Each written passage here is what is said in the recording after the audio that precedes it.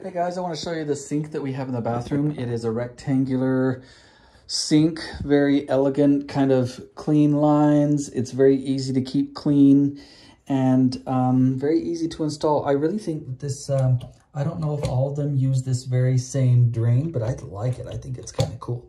Anyway, this sink is really great except for one thing that I I'm curious about. It doesn't have one of these overflow holes so that if you forget to turn off the sink, but here's the thing, most sinks that have the overflow holes, they don't really work very well anyway. So maybe that's what they were thinking. Just keep track of your sink and don't leave the water running. So here you go.